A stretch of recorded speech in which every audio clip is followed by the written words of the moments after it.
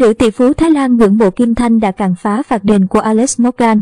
Chứng kiến màn trình diễn tuyệt vời của tuyển nữ Việt Nam trước Mỹ, nữ tỷ Madame Bang đã gửi lời cảm ơn trên trang cá nhân.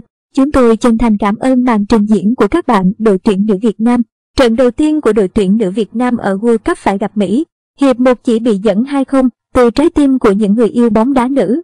Tôi cổ vũ cho các bạn, Madame Pan viết trên trang cá nhân ngay sau hiệp một kết thúc, kèm theo hình ảnh thủ môn Kim Thanh cản phá phạt đền của Alex Morgan.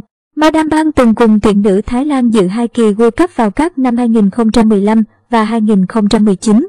Thái Lan đã thua Mỹ 0-13 ở World Cup 2019. Alex Morgan đã ghi được 5 bàn thắng vào lưới Thái Lan. Đây là thất bại đậm nhất ở World Cup. Có thể nói Madame Bang hiểu được tuyển nữ Mỹ rất mạnh so tuyển nữ Việt Nam.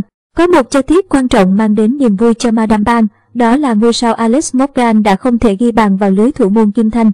Alex Morgan còn để lại nỗi thất vọng khi bị Kim Thanh cản phá thành công quả đá phạt đền ở phút 41. Ở trận đấu với Mỹ, tuyển nữ Việt Nam có màn trình diễn đầy quả cảm. Ngay phút 14, Sophia Smith có pha thoát sướng và dứt điểm qua hai chân thủ môn Kim Thanh, ghi bàn mở tỷ số trận đấu. Bàn thua này là kết quả không bất ngờ khi tuyển nữ Mỹ ép sân toàn diện trước tuyển nữ Việt Nam. Dù vậy, tuyển nữ Việt Nam không hề xuống tinh thần mà chơi kiên cường trước nhà đương kim vô địch World Cup. Tuyển nữ Mỹ liên tục tạo sức ép nhưng hàng thủ và thủ môn Kim Thanh chơi rất hay để hóa giải mọi thứ. Mỹ chỉ có thêm hai pha lập công để thắng chung cuộc 3-0 trước tuyển nữ Việt Nam.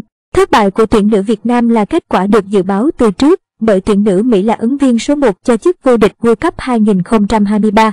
Nhưng trận thua với kết quả 0-3 là tỷ số nằm ngoài dự đoán của mọi chuyên gia, bởi phần lớn đều nhận định tuyển nữ Việt Nam sẽ thua rất đậm trước Mỹ.